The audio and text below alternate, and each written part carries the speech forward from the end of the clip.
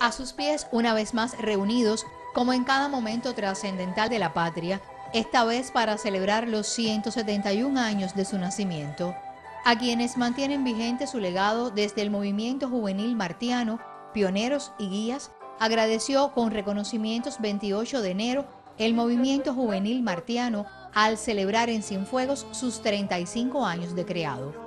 El fomento de clubes, seminarios, diálogos intergeneracionales, la creación de cátedras y limpieza de bosques martianos, concursos, figuran en el quehacer que destaca a Cienfuegos como vanguardia nacional.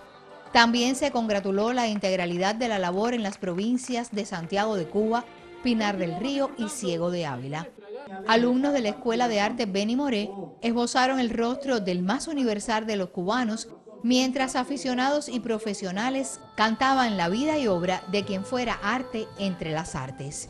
Especialmente invitado el proyecto Sonrisas de la Universidad José Martí de Santi Espíritus, con su interpretación de Agdala, el poema épico en que el joven Martí esbozara precozmente su concepto de patria.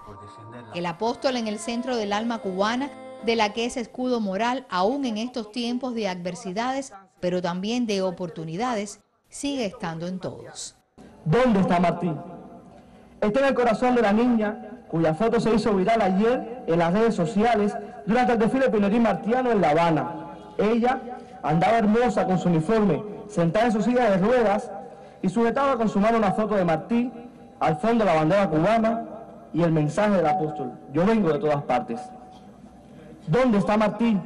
En aquel niño que no creyó en clima huracanado y que fue al encuentro con el busto de su maestro.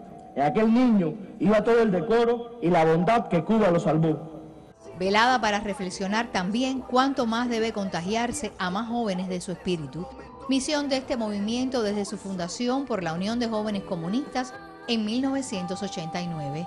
Desde esa organización política, como desde la oficina del programa Martiano y el Ministerio de Educación, se les reconoció legar el pensamiento, la obra literaria y periodística, las hazañas del más universal de todos los cubanos. Ismari Barcia, Notisur.